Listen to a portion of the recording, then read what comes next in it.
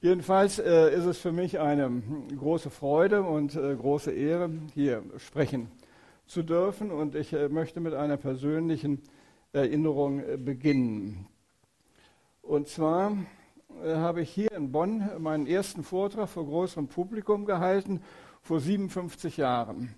Und zwar war das äh, bei der Verabschiedung der Abiturienten des Ernst-Moritz-Arndt-Gymnasiums äh, in der Ernst-Moritz-Arndt-Schule und ähm, äh, es geschah genauer, ja, erstmal hier äh, die 50er Jahre, das ist vielleicht ein bisschen sehr allgemein, man kann das auch etwas präzisieren, aber das ist vielleicht nicht so ganz ernst äh, zu nehmen. Der Vortrag jedenfalls äh, geschah vor diesem Wandgemälde, das manche von Ihnen sicherlich kennen, im Ernst-Moritz-Arndt-Gymnasium. Und äh, dort stand das äh, Rednerpult. Und ich zeige äh, dieses Bild auch, um mich meinem Thema anzunähern, äh, nämlich den 50er Jahren. Oder etwas äh, mehr, vielleicht etwas umfassender, die Nachkriegszeit bis 1962, also auch das, was man die Adenauer Zeit nennt. Und äh, diese Periode wird heutzutage gerade unter Intellektuellen oft einer verunglimpft als eine Zeit der Restauration als äh, eine Zeit, in der es versäumt wurde, die Nazi-Jahre Nazi aufzuarbeiten, eine Zeit der äh, Kritiklosigkeit. Und äh, sicher ist dieses Urteil nicht ganz unberechtigt. Ich habe jedoch subjektiv diese Zeit anders in Erinnerung als eine ganz äh, großartige Zeit äh, voller Optimismus, äh, angefüllt mit dem Willen, etwas zu schaffen, etwas zu erreichen und etwas aufzubauen, in ganz wörtlichem Sinne vielfach. Und äh, zum Beispiel ist eben auch äh, dieses äh, Bild äh, ein äh, Zeichen für den Gestaltungswillen, äh, den es damals gab. Die Schule, das Ernst-Moritz-Gardt-Gymnasium, das Gebäude war fünf Jahre zuvor errichtet worden, ein bisschen länger. Das ist ein typisches Beispiel für die Architektur der 50er Jahre. Äh, es steht heute unter Denkmalschutz, meiner Ansicht nach zu Recht. Und ich glaube, es gibt nur sehr wenige Beispiele, dass eine Schule von einem, durch ein Gemälde von solcher Qualität äh, verschönert äh, wurde.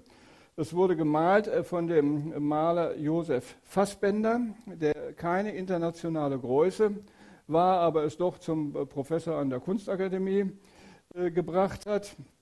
Und wie das äh, ganze Schulgebilde dokumentierte, er damals. Und das war uns damals als Schülern durchaus bewusst. Wir fanden das schon sehr modern irgendwie. Äh, aber das äh, war eben das Bestreben, wirklich etwas mehr zu schaffen als einfach so ein reines funktionales Schulgebäude. Ich glaube übrigens auch, dass das Mathematische Institut, was ja gleich gegenüber liegt, in der Wegeler Straße 10, ein äußerst gelungenes äh, Beispiel für die Architektur der 50er Jahre ist. Das gilt besonders für den Innenraum. Ich zeige Ihnen das mal. Und meiner Ansicht nach, wenn das nicht schon geschehen sein sollte, sollte auch dieses Gebäude unter Denkmalschutz äh, gestellt werden. Diese Aufnahmen, die ich zeige, stammen, sind vier Jahre alt, aber seit dem Bau wurde dieses Gebäude praktisch nicht verändert. Also gerade diese Innenansicht, das äh, denke ich, äh, ja, ganz viele von Ihnen kennen. Vielleicht hat man noch nie so richtig darüber nachgedacht. Das ist, also, glaube ich, ein, ein Musterexemplar für äh, die 50er Jahre und spiegelt eben auch etwas aus dieser Zeit wieder. Und hier ist der Hörsaal, in dem so viel stattfand, äh, durchleuchtet, lichtdurchflutet von beiden äh, Seiten. Also wenn das nicht schon geschehen ist, vielleicht ist es ja schon geschehen, meiner Ansicht nach äh, sollten sollte dieses Gebäude unter Denkmalschutz äh, gestellt werden. Also es war bestimmt nicht eine Zeit, äh, wo es nur äh, Restauration und Konsum und dergleichen gab. Zum Beispiel die deutsche Literatur erlebte damals eine Blütezeit wie nie mehr danach. Es gab die Gruppe 47, Leute wie Brecht waren noch aktiv, aber dann gab es Günter Grass, hat in dieser Zeit das ersten Romane geschrieben. Es gab Leute wie Uwe Jonsen, Heinrich Böll und äh, viele andere. Also glaube ich, eine, eine Dichte an Qualität, die es äh, danach nicht mehr gegeben hat. Ähm, ja, drei Jahre nach diesem Abiturvortrag äh, im Jahre 1959 habe ich meinen ersten mathematischen Vortrag in diesem Gebäude da gehalten, nicht in diesem Raum, aber in diesem Gebäude im Seminar von Wolfgang Krull. Äh, damit begann dann so allmählich meine Laufbahn als Mathematiker. So, es ist natürlich völlig unmöglich, in einer halben Stunde Zeit, in einer halben Stunde diese Zeit auch nur annähernd äh, vollständig äh, zu schildern. Und ich äh, möchte eben zeigen, wie sich diese Zeit des Aufbruchs äh, vor allem im Leben von Hirzebruch widerspiegelt. Friedrich Hirzebruch wurde 1927 geboren. Er erlebte die, äh, als Schüler die äh, Kriegszeit und die Nazizeit und als Student die ersten Nachkriegsjahre. Er selbst schrieb über diese Jahre, wenn ich damals einen kurzen Lebenslauf äh, abgeben musste, enthielt er immer den Satz, folgenden Satz. Von Mitte Januar 1945 bis zum 1. Juli 1945, ein knappes halbes Jahr, durchlief ich Arbeitsdienst, Militär und Kriegsgefangenschaft. Das ist Hirzebruch als Soldat 1945. Das soll vielleicht ein bisschen ergänzt werden. Ab März 1943 äh, wurde er mit seiner ganzen äh, Schulklasse zur Ausbildung als Luftwaffenhelfer eingezogen. Es gab noch stark reduzierten Schulunterricht. Die Schüler waren aber in gewissem Sinne kaserniert. Mit der 11. Klasse, also Obersekunda, war Hirzebruchs Schullaufbahn praktisch beendet.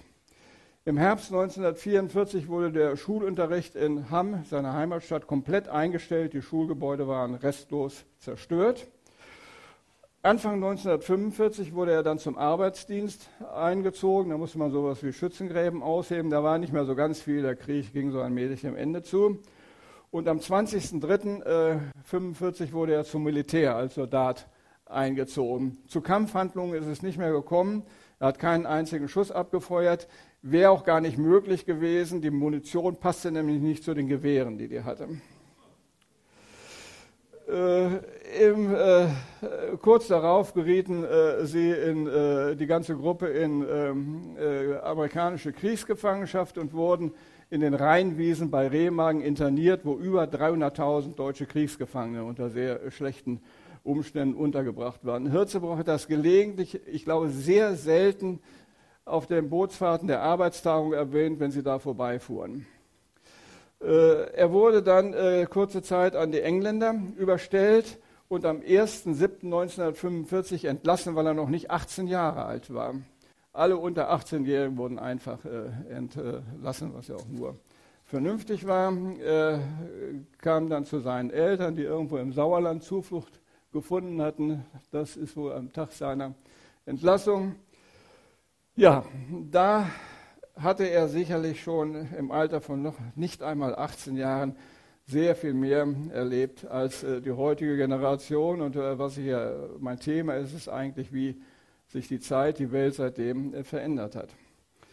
So, sobald wie möglich, nämlich im Wintersemester 1945, 46, begann er in Münster das Mathematikstudium. Es war eine Zeit des Aufbruchs und man war zufrieden, äh, dass man wieder etwas Vernünftiges tun konnte, zum Beispiel Mathematik studieren. Eigentlich war das jedoch gar nicht möglich. Münster sah nämlich so aus. Also irgendwie kommt mir dieses Bild immer in den Sinn, wenn ich heute in der Zeitung lese, dass in den Städten großer Mangel an Wohnraum herrscht. Fragt man sich, was das wohl gewesen sein muss. Ähm, also so sah Münster aus, indem man, es war schon ein bisschen aufgeräumter, als äh, das Studium begann, aber im Prinzip war das so. Ja, nach eigener Aussage hatte Hirzebuch in der Mathematik vier Lehrer. Sein Vater, hier steht er am Schreibtisch äh, seines Vaters, der war Schuldirektor, äh, auch Mathematiker. Das war sein erster Lehrer. Er hatte insbesondere konnte profitieren von der Bibliothek, mathematischen Bücher, die äh, sein Vater zu Hause hatte. Und dann gab es, wie Hirzebuch sagte, die beiden treuen Heinriche, Heinrich Behnke und Heinrich Scholz, äh, Professoren in Münster. Und äh, der vierte Lehrer war schließlich äh, Hopf, rechts, äh, den wir hier mit Stein und äh, Helmut Kneser sehen, bei dem er in Zürich einige Zeit gewesen ist.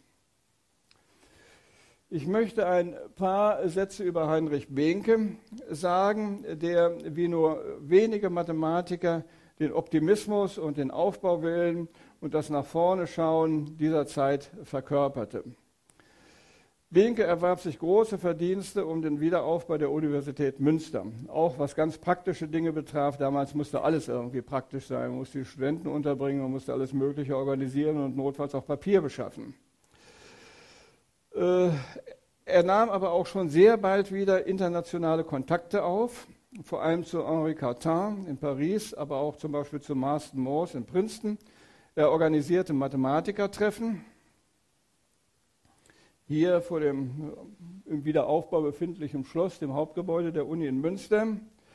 Und vor allem baute Behnke die Münsteraner Schule der komplexen Analysis auf. Er hatte die Fähigkeit, junge Talente zu erkennen und er förderte sie nachhaltig und uneigennützig. Und Hirzebruch hat von all dem äh, sehr äh, profitiert, von der Organisation, von den Kontakten und äh, natürlich auch äh, von dieser Schule der komplexen Analysis. Zu den äh, prominentesten Vertretern dieser Schule gehörten neben Hirzebruch selbst der etwas ältere Karl Stein. Er war vielleicht, ja, doch vielleicht fast zehn Jahre älter als Hirzebruch. Und äh, dann die etwas jüngeren äh, Grauert, Hans Grauert und äh, Reinhold Remmert. Äh, von Karl Stein, der ebenfalls aus Hamm stammte, bei Hürzebuch, äh, hat äh, Hürzebuch ganz viel auf gemeinsamen Eisenbahnfahrten gelernt zwischen Münster und Hamm. Das dauerte eine Ewigkeit. In Drensteinfurt, da bin ich heute noch durchgekommen, musste die Lokomotive gewechselt werden und dann ging es nach einiger Wartezeit weiter. Und während dieser Zeit hat Hürzebuch als Student im dritten, vierten Semester eben Mathematik von Stein gelernt. So, ich hatte Ihnen ja das, äh, hier sehen wir noch ein bisschen mehr von der Behnke-Schule, auch äh, Katar. Also links ist Sommer, einer der älteren äh, Professoren, aber im, auch zum Umfeld von Behnke gehörig, dann Henri Katar zu Besuch. Das Bild stammt vielleicht von 51 oder 52. Und dann Grauert und Remmert, die damals äh, in Münster studierten. Ja, ich habe Ihnen äh, das Bild von dem völlig zerstörten Münster gezeigt. Und man fragt sich, wie man damals äh, überhaupt nur studieren äh, konnte.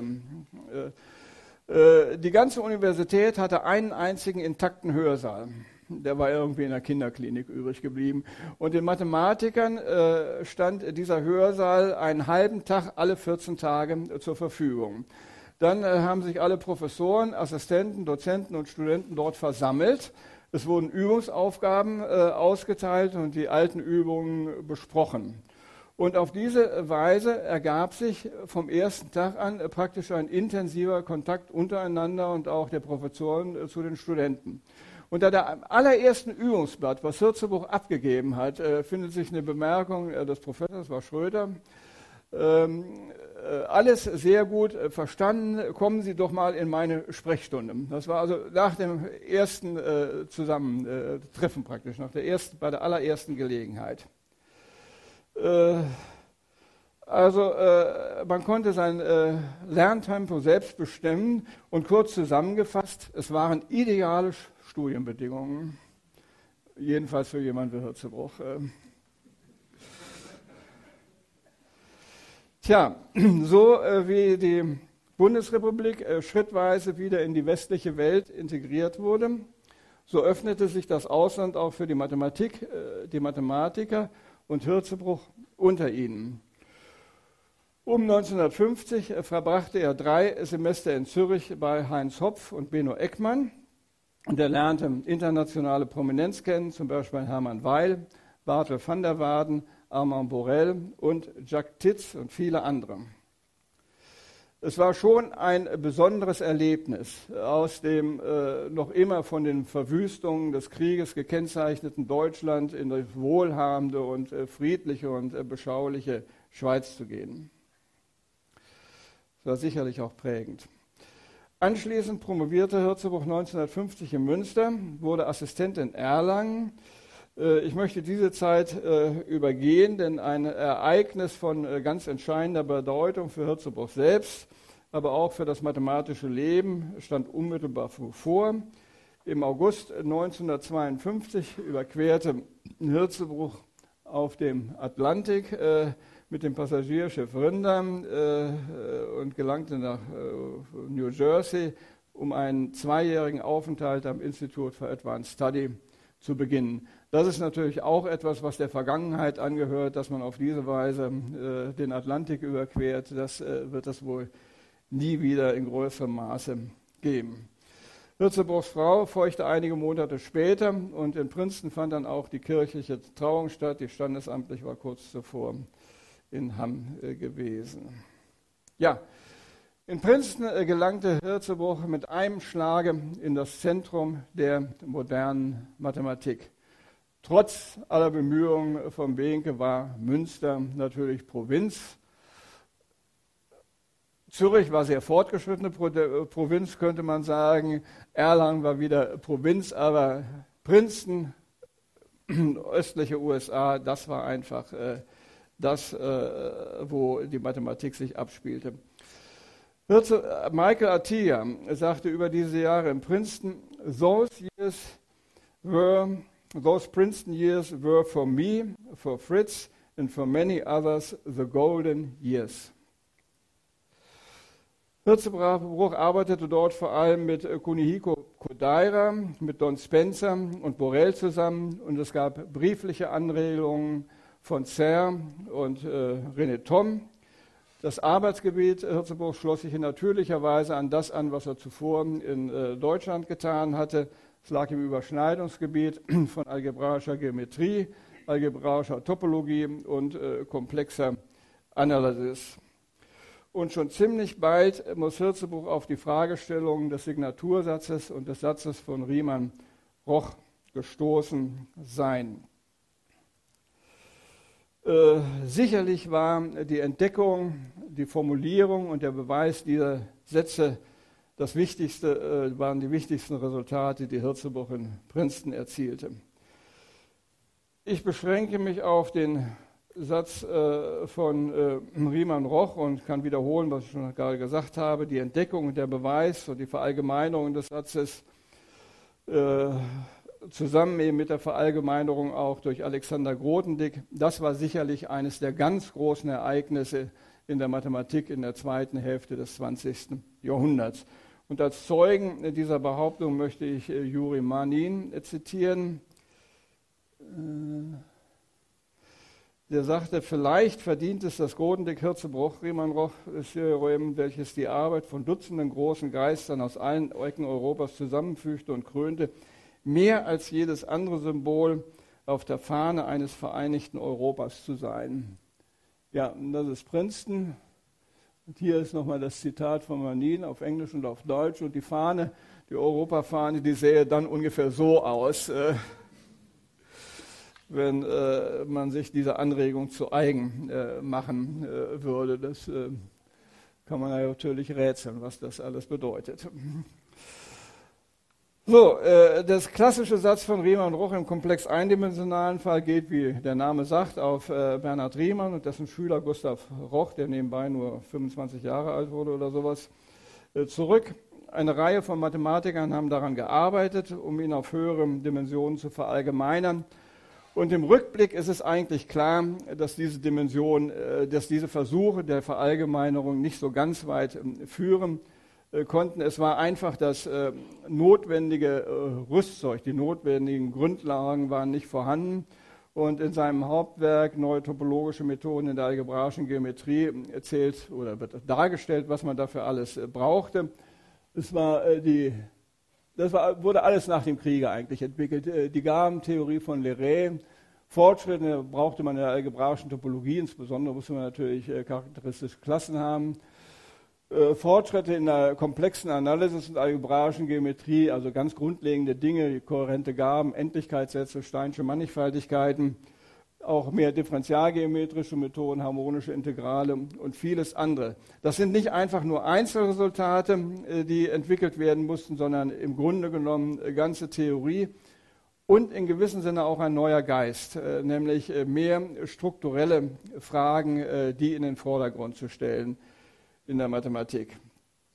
Es wurden also nicht nur neue Gebiete entdeckt, äh, sondern äh, es gab einen gewissen, also das Wort Kulturwandel ist ein bisschen abgenutzt, aber es gab eine neue Perspektive vielleicht. Äh, sicher dachte Attier an den Satz von Riemann Roch und den Signatursatz verwandt, als er vor ein paar Wochen in Münster hielt einen Vortrag, ganz erstaunlich, Folgendes sagte und diese Folie zeigte. Uh, Fritz Hirzebruch was a great magician of our time. Das bezieht sich auf den Beweis von Riemann Roch. A true follower of Euler.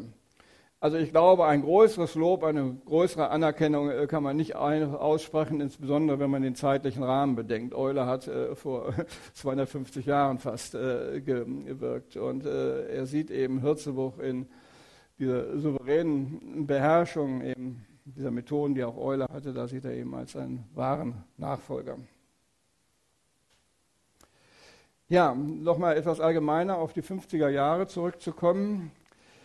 Die Entwicklung, die damals begann und die seitdem, äh, eine Entwicklung, die damals begann und seitdem ständig zugenommen hat, das sind die viel engeren Kontakte der Wissenschaftler untereinander. Bis in die erste Hälfte des 20. Jahrhunderts gab es nur alle paar Jahre eine große internationale Tagung. Es gab praktisch keine Tagungen zu Spezialgebieten. Es gab nicht so etwas wie Gastprofessoren. Und für den Austausch von Ideen war man auf Briefe angewiesen. Äh, hinzu kommt, äh, dass äh, ganze große Länder, äh, China, Japan, Indien, Brasilien auf der mathematischen Landkarte praktisch nicht äh, vorhanden waren. Das sind alles Entwicklungen, was für uns heute selbstverständlich ist, die erst nach dem Krieg eingesetzt haben. Und Hirzebruch hat eben an dieser Zeitenwende von Anfang an, äh, die hat er von Anfang an intensiv miterlebt und er hat eben auch äh, daran mitgewirkt. Ähm, er war einer der ersten deutschen Studenten, äh, der nach dem Krieg ins Ausland geht, Zürich, wie gesagt, als einer der ersten Deutschen war er Gast am IAS. Als einer der ersten hielt er überhaupt einen Kolloquiumsvortrag im Ausland, nämlich schon 1951 in Stockholm. Und er arbeitete in Princeton eben eng zusammen, zum Beispiel mit Kodaira, einem Japaner, und mit Chern, einem Chinesen. Chern lebte zwar in den USA, war vorher sogar in Deutschland gewesen, aber immerhin. Ich meine, die Welt erweiterte sich. Er übernahm zeitweise eine Professur in Princeton und er nahm auch jetzt berühmte Spezialtagung an dieser berühmten Topologietagung in Mexiko im August 1955 teil. Ja, mit den in Princeton erzielten Resultaten, also insbesondere in dem Satz von Riemann Roch, war Hirzebruch sozusagen ein gemachter Mann. Die ganze Welt der Mathematik stand ihm offen. Er habilitierte sich dann 1955 in Münster und äh, zu diesem Vortrag erschien wirklich internationale Prominenz, zum Beispiel Henri Cartin aus Paris und Don Spencer aus Princeton. Nach einigem Hin und Her wurde Hirzebruch dann 1955 an die Universität in Bonn berufen. Das war das Beste, was äh, der Universität Bonn äh, passieren konnte und was äh, jemals passiert ist, glaube ich, in vielen, vielen Jahren. Er trat diese Stelle dann im Juni 1956 an und mit dieser Berufung änderte sich dann auch sein Tätigkeitsfeld und sein Aufgabenfeld äh, ganz äh, grundlegend. Bis dahin war er Forscher gewesen. Und jetzt äh, wurde er in ganz äh, starkem Maße auch akademischer Lehrer und äh, etwas später auch zunehmend äh, Organisator von Wissenschaft, insbesondere natürlich von Mathematik. ich das wissen Sie alle, äh, vielleicht besser als ich, äh, durch unzählige geduldige Aktivitäten hat er eben über Jahrzehnte die Mathematik und die Mathematiker gefördert wie kaum zweiter. Ich glaube, in dieser Beziehung ist er in Deutschland überhaupt nur mit Felix Klein äh, vergleichbar. Natürlich lassen sich diese Tätigkeitsfelder Forschung, Lehre, Wissenschaftsförderung nicht äh, trennen. Im Übrigen war Bonn für alles eine sehr gute Wahl. Also als er nach, sich entschieden hatte, nach Bonn zu gehen, fragte Sir so etwas ironisch, uh, why do you go to Bonn? Who is there besides Adenauer? Und ähm, das war aber genau ein Punkt, äh, nämlich äh, die Nähe zur Bundesregierung, zu den Institu Institutionen, die es gab, wie die DFG, zum Wissenschaftsministerium, erleichterte Hirzebruch äh, in seiner Arbeit in vielen Dingen sehr und äh, Das äh, war schon äh, von Bedeutung. Außerdem war Bonn im Gegensatz zu Münster und in vielen anderen deutschen Städten, den meisten anderen Städten im Krieg, völlig unzerstört geblieben, war ganz idyllisch. Ich zeige Ihnen ein Foto, was unmittelbar hier draußen aufgenommen wurde, von mir im Jahre 1958. Äh, Blick die Poppelsdorfer Allee zum Poppelsdorfer Schloss hin, so sah es aus. Äh, an den Autos können Sie sehen, das war wirklich so etwa 1958 und das Poppelsdorfer Schloss vom Botanischen Garten aus ähm, gesehen sah so aus. Das war eine, wirklich eine idyllische Stadt, in der man vergleichsweise sehr gut leben konnte. Ja, ein Beispiel, in dem sich alle drei Tätigkeitsfelder verbinden, das äh, sind die seit 1957 regelmäßig stattfindenden Arbeitstagungen. Es gibt keine Würdigung von Hürzebruchs Wirken, in der nicht die Arbeitstagungen mit an erster Stelle genannt werden. Äh, auf der ersten Arbeitstagung 1957 trugen sechs Mathematiker vor. Hirzebruch, Keuper, Grodendick, Attia und Grauert. Das sind also die Gründungsväter der Arbeitstagung.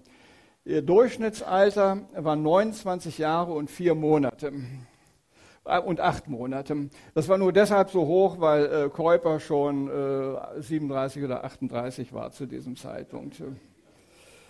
Äh, auf der Arbeitstagung 2013, der ersten nach Hirzebruchs Tod, da trugen 15 Mathematiker vor. Sie können ja mal Ihr Durchschnittsalter raten. Was sind Vorschläge?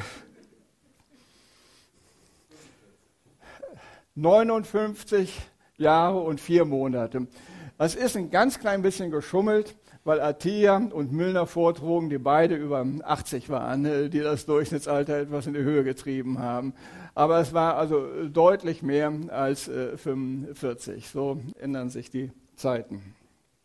Ja, Grotendieck hielt auf der ersten Arbeitstagung sechs Vorträge. Ah. Ja, hier sind Hürzebuch und Käuper. Ich wollte die Gründungsväter der Arbeitstagung zeigen. Hürzebuch auf der Bootsexkursion. Hier Grotendick hielt auf der ersten Arbeitstagung sechs Vorträge. Das Foto stammt von einer späteren Arbeitstagung. Das hat später nie wiedergegeben. Hier sind Attia, äh, rechts äh, Grauert mit Remmert im Hintergrund. Und hier ist schließlich äh, Jack Titz. Ich möchte an dieser Stelle noch etwas ganz besonders äh, betonen diese Fortschritte, auch dieser Aufschwung in der Mathematik äh, hier in Bonn in Deutschland geschahen, ohne dass das Universitätssystem wesentlich erweitert wurde. Als Hirzeburg nach Bonn berufen wurde, gab es ungefähr genauso viele äh, Professoren wie 100 Jahre zuvor, nämlich zwei und einen Extraordinarius. Ein paar Dozentenstellen noch. Die der rasante Ausbau der Universitäten geschah erst etwas später, begann erst etwa 1974. Also die Arbeitstage wurde mit minimalen finanziellen und personellen Aufwand organisiert. Praktisch aus dem Nichts und mit Nichts wurde Bonn einer der führenden Orte der Mathematik. Also ich erinnere mich ganz genau, dass Serge Leng in den 60er Jahren öfter gesagt hat, die Arbeitstagung sei die wichtigste äh, mathematische Tagung überhaupt. Ja, nach diesem ersten Aufenthalt in äh, Princeton äh, war Hirzebruch dann noch zweimal in den nächsten Jahren in Princeton, einmal an der University, einmal wieder am Institut. Diese Reisen waren natürlich verbunden mit Besuchen an vielen anderen Universitäten und es gab viele persönliche Bekanntschaften. Einige von diesen Bekanntschaften waren ganz besonders wichtig, nämlich äh, Hirzebruch und seine Frau sind immer wieder Mathematikern äh, begegnet und deren Familien, die äh, als Juden äh, aus Deutschland und den europäischen äh, Ländern äh, geflüchtet sind, oft unter abenteuerlichen Umständen und vielfach nur knapp dem Holocaust entgangen sind. Äh, die Hirzebos waren immer wieder überrascht und dankbar, wie problemlos und vielfach freundschaftlich äh, sich die Begegnungen mit diesen Emigranten gestalteten. Und ich glaube, mit diesen Erfahrungen hing auch Hirzebruchs späteres Engagement in Israel zusammen. Aus der Zusammenarbeit, äh, ja, äh, in den Jahren 1951 bis 1962 äh, hat Hirzebruch einmal diesen Satz von Riemann Roch veröffentlicht. Dann gab es eine intensive Zusammenarbeit mit Armand Borel und vor allem mit Michael Atiyah im Umkreis des Satzes von Riemann Roch für differenzierbare Mannigfaltigkeiten, der topologischen K-Theorie und Anwendungen.